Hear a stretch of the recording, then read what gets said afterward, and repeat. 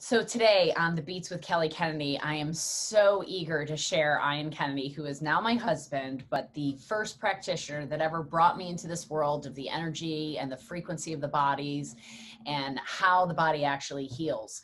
This is for me, it is my favorite, and I am biased. But why wouldn't it be? He is my husband, the man that I've chosen to connect my soul to for the rest of my life. And the purpose of this podcast is for me to help you understand how to get in touch with that inner soul, that inner being that gets to expand and gets to feel the joy and the compassion and all the glory of this world that has that we have to offer. And Ian is the person that brought me there. And I'm so excited for you to be a part of this today and share this. He is absolutely stick to the end. It's incredible. That you get to hear his story, you get to understand um, so many things about the energy fields of the body and how it all matches together. Enjoy this podcast today, y'all, and we'll see you on the next beats.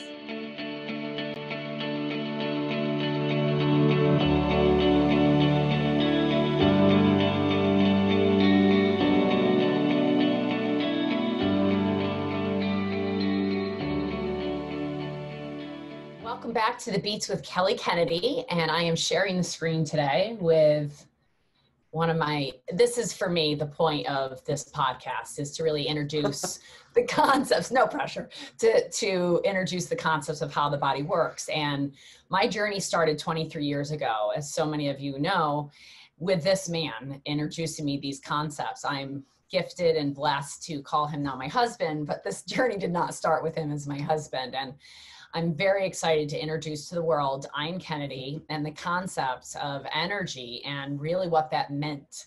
So, just quickly, I want to say that Ian and I are not doctors. Ian has, you can see by his face, um, he has been trained in the medical field as a combat ranger medic. He was in the martial arts for many years. He got into the energetic healing arts 30 some years ago at this point. I met him less than 10 years into that journey in my own healing journey. And the reason that I brought him, and I'm going to let him speak in just a minute, but the reason that I wanted him to speak and the reason I wanted to bring him on the podcast because I wanted folks to begin to understand how their body works and then almost in hindsight look back at the story and really understand how that unfolded. And when I met him, for those that don't know the story quickly, um, I was in body pain. I had been in a motor vehicle accident three years prior to meeting him, and I had lived on, excuse me, painkillers and muscle relaxers for those years. And I was studying medicine, a pre med at Cornell University. My father had, uh, the first year at, school, had a, suffered a stroke, a second stroke, and then died within five months of that second stroke after having lived in the hospital. And I was really dismayed by the Western medicine model of medicine because I felt it was very suppressive in nature and very much cut it out, radiate it, medicate it, and get out of my office and stop complaining because I don't want to hear it anymore. And I was not satisfied with that because I was physically living in pain, living on Vicodin and Flexeril, trying to manage my pain, very depressed, very angry. And then my fa- father died amongst all that. So now that contributed to all of it. So I got out of college. I started working with this company that had some Chinese herbs that was giving me a little bit of results, and I ended up in Ian's office. Mm-hmm.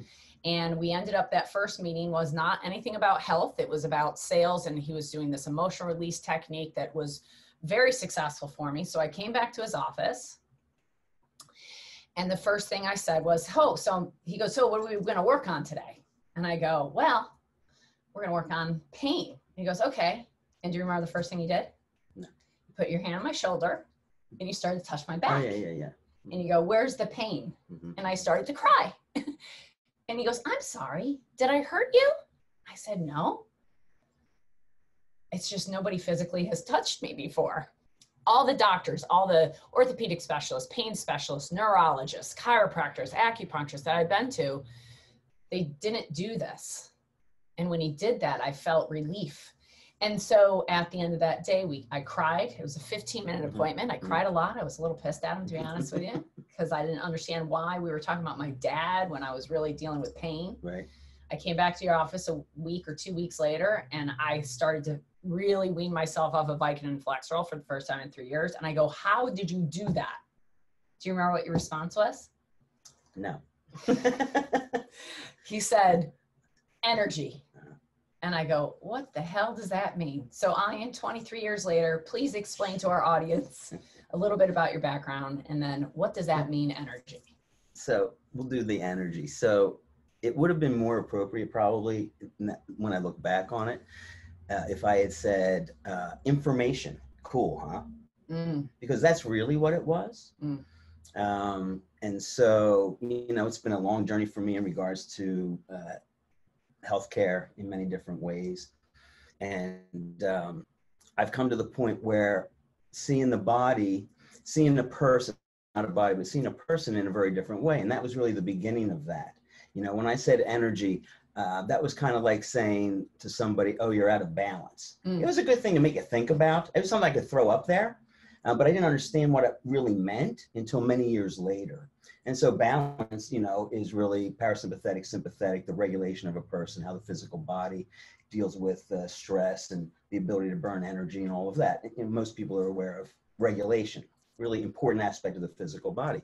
So when I said energy to that young woman back then, That young woman. that young one, when I said energy, She's really what, what I was trying to convey, I think, was more the idea of information. And so today I look at a person really in four aspects of what manifests a, a person. And that's the physical body, uh, the mental body. And when we talk about the mental body or the mind, right, we're talking about um, memory, imagination, the ability for discernment, make decisions, um, intellect, logical thinking. That's all the mind, right? And then uh, there's the emotional body. And really, in your story, you touched on all of this and why people get sick. And that's really what I want to talk about is why do people get sick? Um, and so there's the emotional aspect of a person.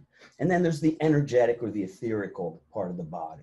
And that's that energy that actually conducts the information that makes up the whole person. Okay. So if we have an opportunity to work in any of those spots, you know, working on all of them is really important. For instance, in your story, you broke your physical body on some level. You Mhm. had a physical injury, right? Right. So let me ask you a question. You have this physical injury, you break the body on some level. Did it affect your mental state? Oh, right? yeah. Did it affect your mind? angry. Okay, so you Yeah. that's that's the emotional jump. Okay. Okay, so it so, my so got, did it affect your ability for critical thinking? Did it affect your ability for who I am, what's going on in my life? well, Did it it affect changed. your mind? Did it change that? Yeah, right? because Okay. it made me think about the body differently. And then my dad had the strokes right after that. So that's some emotional stress. Yeah. So now the emotional body's getting affected, right? So Mhm. this is all being generated though through the energetics of the information that's running through your system. Mhm. So when you finally ended up with somebody uh, working on you in a different way, um, you know, you were taking herbs for the physical body, trying to help with the pain and get away from the medication. Mm-hmm. So you're working on the physical body. Then we started to really do some emotional work so that the emotional aspects of all of those stressors could be released a little bit from the body. So that changed the information as well. But it's all running through this energetic or etherical body, right? Giving the information to the system. Mhm. And once that's all released, then what's interesting and wonderful is that the physical body has to start to manifest that. It has no choice.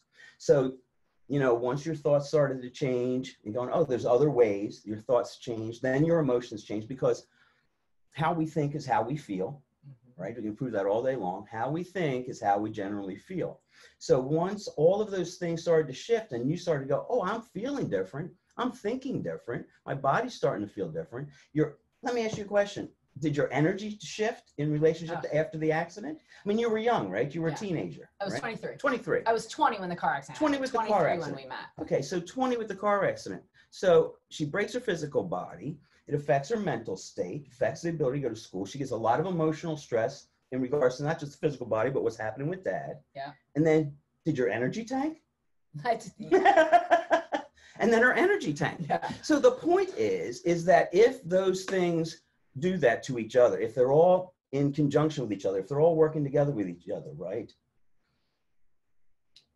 It's also so, it's also true that if any one of those are affected, let's pretend that there's high emotional stress for somebody, but they don't break the body. Um, maybe there's high emotional stress. Maybe there's uh, mental uh, stress as well, right? Uh, I'm in school and I'm, I'm stressed over school and I've got stuff going on at home, going on at home. The physical body will then start to manifest symptoms of that. So it works in reverse as well. So any one of those things that you can start to work on with somebody, and generally, uh, 99% of healthcare experiences out there work on the physical body. Doesn't matter whether it's allopathic or quote unquote alternative. Let me give you some herbs. Let me give you some medications. I want to I want to mess with the physical body. Let me do a good chiropractic adjustment. Do things to the physical body, Mhm. and those things absolutely start to affect the other three aspects, right? So just to reiterate, because you have said so many things here, and I know for me it's become a common language because we've been working together for 23 years, and yet let's back up for those. So let's clarify. So there's four emotional bodies. No, there's there's four bodies or four dimensions of a person. There's four phy- dimensions of the body physical, physical birth, a physical body, All which you've accumulated, right? right You weren't born the adult. skeleton with the All the muscles and the fascia stuff. and all that Time Lymph- and food. Time and food make that time happen. and food what you eat is what you become Okay. And so physical body. physical body okay Because it keeps changing as well, right? Right. Okay. and then you have the Mental mind body. the mental body the mammalian brain Yep. right the, Yeah. the thought life and Yep. the things we think and a lot of people think that that's what they are but it's just your thoughts It's another accumulation. Right. all the things that I've ever been taught, or read ever or read. You know, everything's been downloaded into my system. any input Yep. That came from the outside world, right? right Same thing with your physical body. right any Okay. input from the outside Yep. physical and mental then you have the emotional body All the things that I perceive have happened to me through my five senses. So wait, he says this so fast because it's such his language. All the things we have perceived from all of our five senses creates our emotional body. Absolutely. So take that into digestion for a moment, folks that are listening to this. okay. There's three so far. We've talked about three, of the four, yeah. and the fourth, which is the one that you and I worked with when we met, was the emotional body. Right. And we've talked about how 90% of all illness is emotional because it's what we perceive hmm and take all those input from all of our senses our sight our smell our touch Sound. our sound our Taste. taste Yeah. all tuned to the outside world. okay right? And you now- can't close your eyes and look at your liver. So, Right. right. So they're all tuned to the outside world. That starts to create an experience for me. okay That experience starts to feel emotional. If I and I'll tag that with my mind because the way I think is the way I feel. Well, what makes me think certain things? My experiences of the outside world. So we've got those three, right? Yeah. They're- okay, so they're manifesting who I am. And then the last one Mhm. is the energetic or the etherical body, what people call the etherical body. And that's really the, the electricity that jumps from, from inside your brain, from synapse to synapse, that goes, oh, this is information. that's the ionic exchanges Right. It's not in the tissue, right. it's in the electricity. it's on the outside of the cell and the receptors okay. That's- scientifically that's- see this is what i For have me, it's just the idea that it's the energy, just like lighting a light bulb up. Okay, Right. so a certain amount of energy is making that happen. So there's a certain amount of energy that has information. and that's in it. electrical in the Yeah. body and it's created by minerals Right. So when we play in a place with you those years ago, you know, what we really did is we helped shift your mind and it helped shift your emotions, which changed the way you thought, which changed the way you felt. And it was easier for your body to go back into a state of ease and let go of the pain. And I think it was a process that allowed that to happen. Today, I'm excited about the fact that there's technologies and ways to deal with all four of them. Because if you can deal with all four of them, it's pretty exciting. I like dealing with the energetic body because it is that informational highway. And so, And this is like the concept of epigenetics, where there's information that's beyond our DNA that we bring in with our energetic body, that's our tendencies or Right. so forth, if you will, right, that allows our body to now attract those emotions, those physics, the physical stuff as well, correct? sure, sure. And so, the, So it starts chicken or rolling egg. on each other. It starts rolling on Yeah. itself, and you start to manifest the mm-hmm. me, the who I am. Okay. The cool thing is that when you and I were doing that, there wasn't actually a technology, there was a technique, right? There wasn't mm-hmm. really a technology to allow a person to go through an experience and allow the energetics to shift, allow the emotional aspect to shift, and really allow the mental aspect to shift as there is today. And that's really, you know, for me, Sound of Soul. Mm. Sound of Soul does for, for Yeah. folks.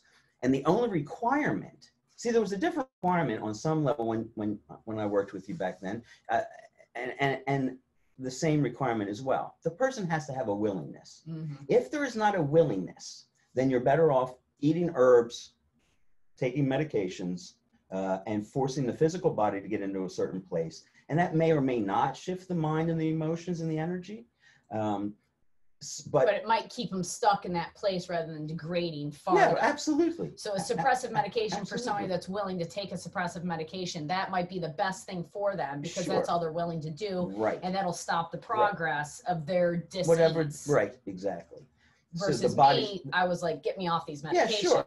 I had no willingness to take those, really. Right, right. That's, And so there's there has to be a willingness to either sit on the table and play that game, or the beautiful thing about Sound of Soul is if you're willing to relax and be present. I think they're the two things that have to happen. You know, if you're willing to allow it to happen and be present, then I think what you experience through doing some of that emotional release work and and, and other things um, really starts to happen for somebody because they're being affected through sound which is which is a wonderful energy, right? Everything is actual sound, everything. right? Everything's manifesting. everything's a frequency. and so if there's a frequency and a vibration, there has to be a sound, even though we can't hear it all. Right, it might goodness. be- You don't want to hear it all, It might be a pitch that we can't up or hear. down, Right. but it's still and science has proven that today, that everything's a vibration. And if something vibrates, it has a sound to it. And just real quick for those that are listening, ha ha ha, listening to the sound, you know, I and I, um, at one point, I forget how many years ago this was, but we were we were watching something on like Discovery Channel or something. Remember about that tones and the sounds? And we're about 15, 16 years Oh, yeah. apart in Mhm, mhm, age. mhm. And Absolute they were sounds playing I could not hear. tones on this on this documentary proving that as you age there are certain tones that you no longer can Yeah. hear and when you're younger you can hear all of them. Our them son was doing that. He Right. raised his hand to everyone, and there were some where I was just, like, I cannot hear that. and i was like come on you can Nope, hear that couldn't and hear. I, I was like okay now i don't hear that one and Sas was like oh i can hear that one Yeah. so you know i know it's a little trajectory but i, I think It's it's, okay. important for people to understand that every you cannot escape vibration everything vibrates whether we're aware of it or not Right. And everybody's working in all three of these fields, whether All they're four, aware, yeah. all four, I'm sorry, okay. whether they're aware of it or not, correct? And that's the biggest thing. That's the biggest thing. Because the less aware of it that I am, the more I feel like it affects me in a way that I'm not in control, quote unquote. Okay. Um, so the more, the less I'm aware of it, the more that outside influence, that outside input affects me and I feel out of control. yeah, I would agree with that. A hundred percent. One of the things that you have enlightened me in this way is that when I met you, prior to meeting you, I had wanted to be a doctor. I wanted to not feel out of control. And what I felt out of control was, is am I going to get cancer? How do I not get it? And if I get it, how do I not die from it? Because I watched my father at 55 years old die after having cancer seven times, a couple strokes, and many other medical Mhm, conditions. mhm. Going, I don't want those genetics. I don't want that. How do I not get that? Then we started working after my car accident we start working together we start unwinding that and here i now feel 23 years later more in control of my health of my physical body have more flexibility in my Yeah. mind in my con- in my emotional state can Good energy. tolerate more Yeah. when i met you i couldn't Good deal with cats i couldn't Right, deal with hay i couldn't deal with dust i couldn't deal with anybody using the word dad i couldn't deal with Right, sure. Tall men. I couldn't deal with SUVs. I couldn't deal. There was a lot of things I was rigid and unable to moderate and deal with. And now I have all this flexibility. And that was because of the stacking of the information, right? That started to manifest what we felt like or what any of us feel like is our lives. And, you know, that's it's actually not the case. It's just information. It depends on how we deal with that information. And the cool thing is, is that to realize, you know, for human beings, the biggest obstacle is the fact that we so deeply identify with the physical body. And we and when i say the physical body that includes the mind and the emotions and everything else you know? And so the deeper we associate with that um, the more down a rabbit hole you can end up going right and chasing your tail. So i guess the bottom line is that yeah i think 10% of illnesses for people and diseases actually totally come from uh, external experiences they break the body or there's some kind of external stressor and I think about 90% of illnesses manifest in some way around these four aspects of a person. Um, if there's some kind of deep traumatic experience, whether that's on a physical level, emotional level, a mental level, or a combination, usually a combination of all those Right. things. You know and then the body has to follow that information and that's the key to realize the body's going to follow whatever information is presented. Um, the more aware we become the more discerning we can become and and and be able to go well this is information i want and this is not necessarily information that i want. This is information i can take in. Uh, you know we don't want to build walls we want to be a filter. So i want to filter life as it happens right? And take the things on uh, that are supportive to how i function and not and, and let the filter catch everything else.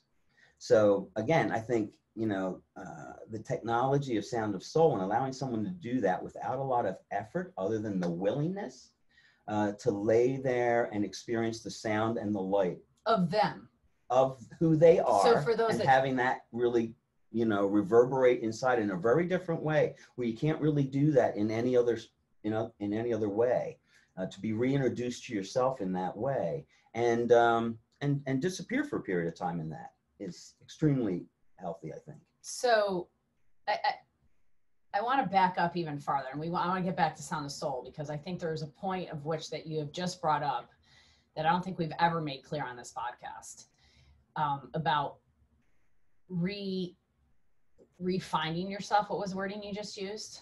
To go inside. What you just said it. Reintroduce yourself. Reintroduce yourself. Thank you. To yourself. Yeah. So, you know, Ian Kennedy non-licensed practitioner that loves people how did this start for you how did you get involved in this tell us a little bit about your background like you have a unique perspective he's laughing he's like are you kidding me i know that's what a so, thought is but you know you grew up in a house that so wasn't yeah, common so no let's so, talk about that background all right so i was cultivated in a very different way uh, because of my father's life experience we were we were really allowed to be cultivated as opposed to being raised. We weren't really herded into a certain mindset in any way.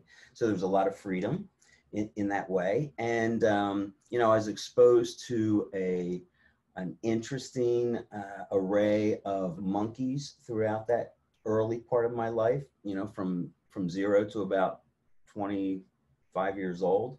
Um, and so that so there's people listening right now going what is he talking about? Is this tarzan that she's interviewing? What do you mean you were exposed so my father and my great so my father and my great aunt rescued monkeys for a period of years and we ended up with 21 monkeys over about 20 years where they were living in the house. The house was rearranged so that it was incredibly functional um, and there were a few monkeys that were living free in the house, but most of them were in cages. And these were rescued monkeys, yeah. right? From all over the world. So you had wild animals living in your in the home yeah. on the property of which yeah. you grew up on. Yeah. yeah. And your father was an electrician by trade. Yeah.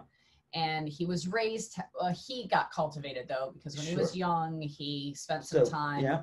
At 12 years old, he left his home in New Jersey, went to Florida, and ended up uh, living with the Seminole Indians until he was about 17 and a half years old. And that's when he joined the Navy and went to war and, and went to the Second World War. So um, I didn't see allopathic medicine people uh, really through my childhood.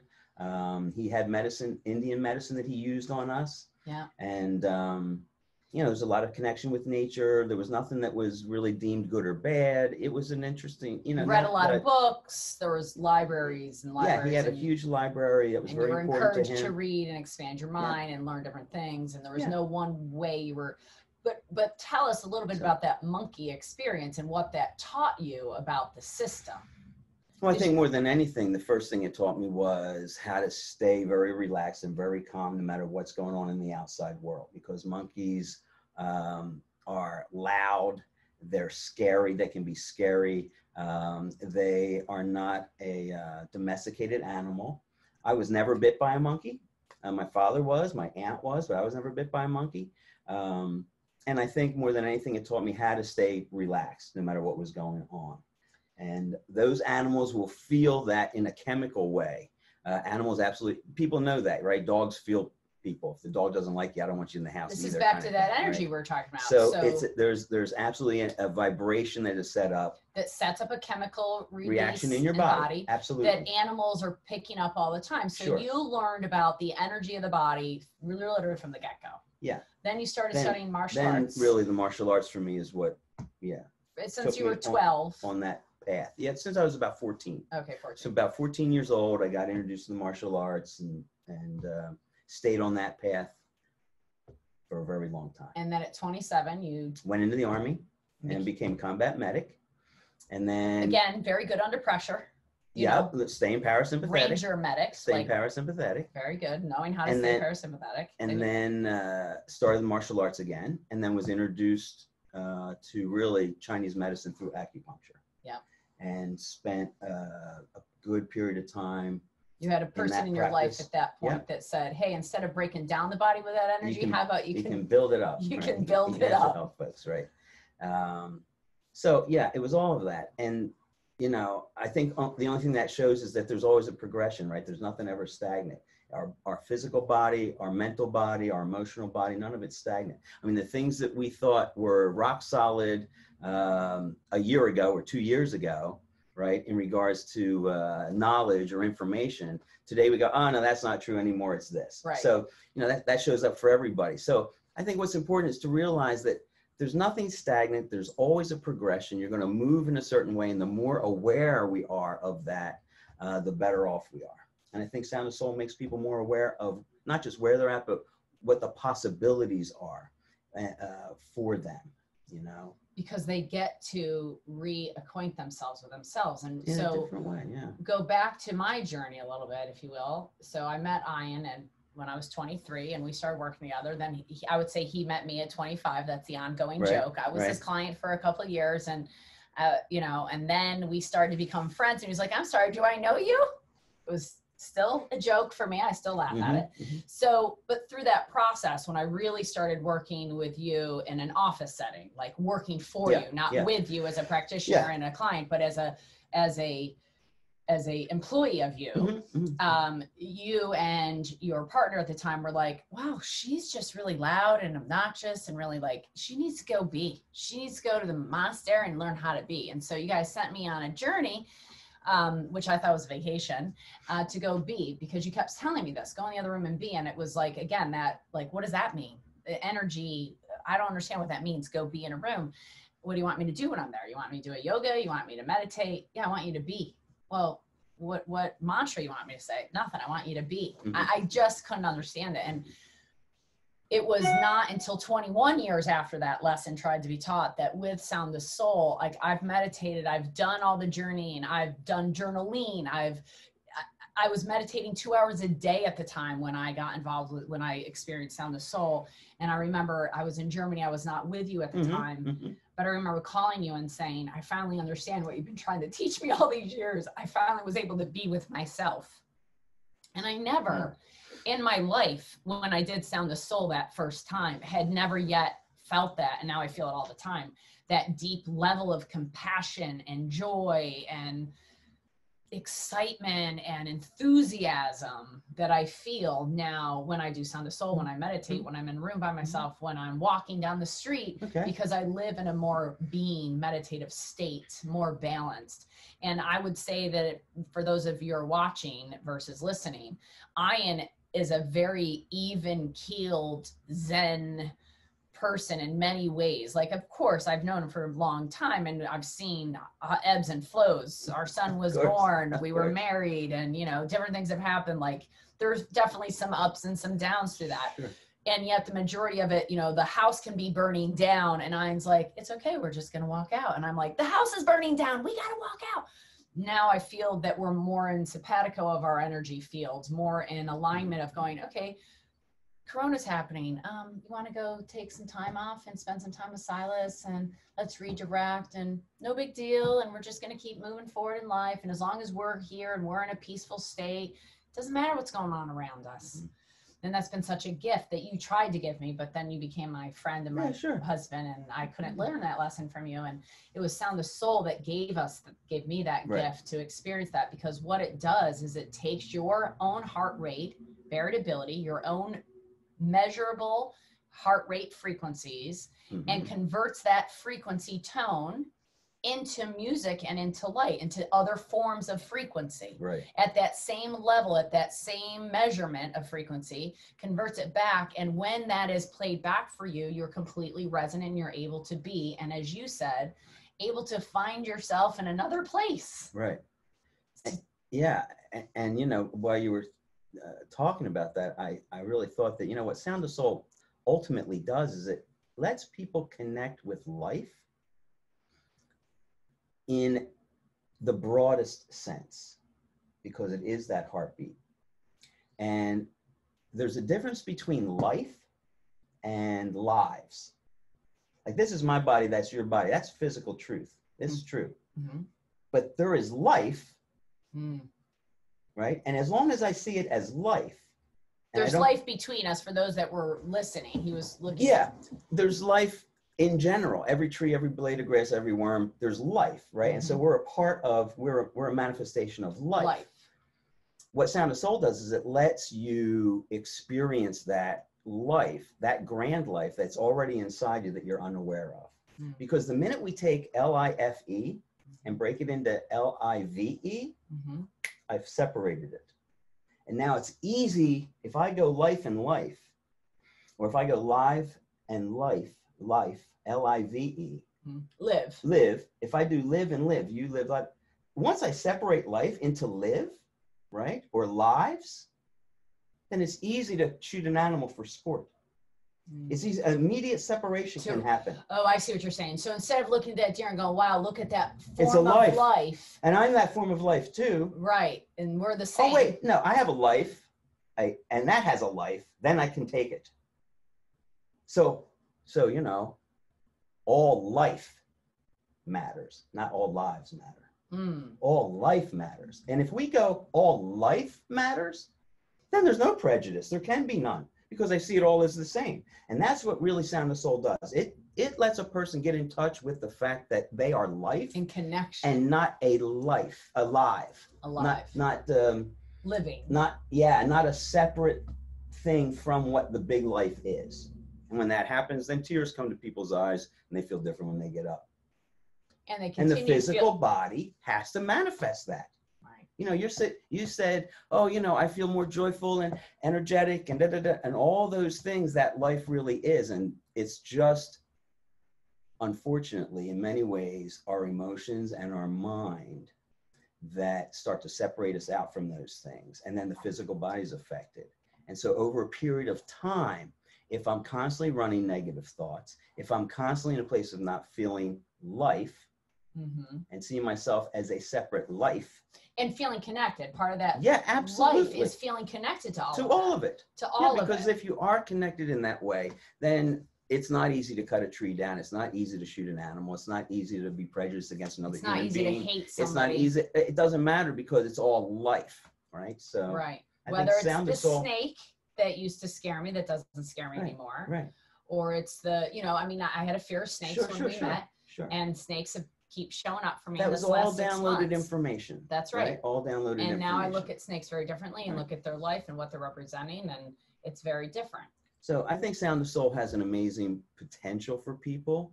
Um, you know, beyond just oh, this is really cool and it made me feel a certain way. I really think it does help people reconnect, not just with themselves, but with themselves to the point of realizing, oh, I am a life. You know, I am part of this, of this whole connection. connection. Yeah, And- it reconnects people. and then we sure. go back to okay how do we save humanity because we could all say that humanity in this world's on a trajectory that's not you know necessarily the greatest i think there's a huge tipping point happening Mhm. And i would correct me if i'm wrong because i'm sure you will um, but and the connection that we all feel to each other that everybody through this coronavirus pandemic has Mm. felt that we are connected there's no way to separate us you know whether you're in Well, sure. the coronavirus has affected every person because it's we're are all connected no matter how much they've tried to separate us and Sure, sure, sure. you know keep us in our homes and keep the six feet distance and everything you cannot separate the human gene uh, the human organism for the rest of life because it is all one well, yeah, you know, it's life. Coronavirus life. is alive. It's alive. It's just trying to live. It's just trying to live. It's not trying to kill you. It's just trying to live. it's trying to express It's it's it's expanding, right and that's all life ever wants to do is expand. That's all human being actually ever wants to do is continue continue to expand. And the minute we feel like we can't expand, then all kinds of stuff shows up in a negative way for the for the mind, the energies, the body, and the emotions. So well i'm not going to cry okay, good.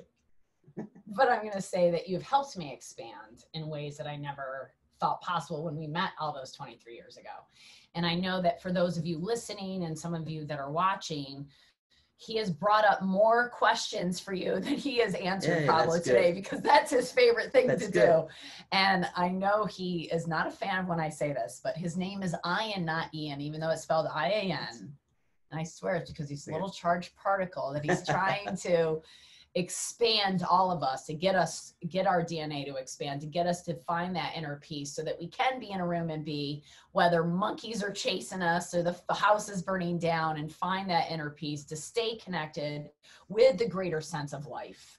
And that's an incredible gift that I know you've given myself. You've given so many others and I know that this podcast in particular is going to be widely shared because we've been waiting to introduce the world to Ian Kennedy and and the thoughts and processes that you've encouraged so many others to expand and grow that the list is broad and I want to thank you for all of them and thank you for me.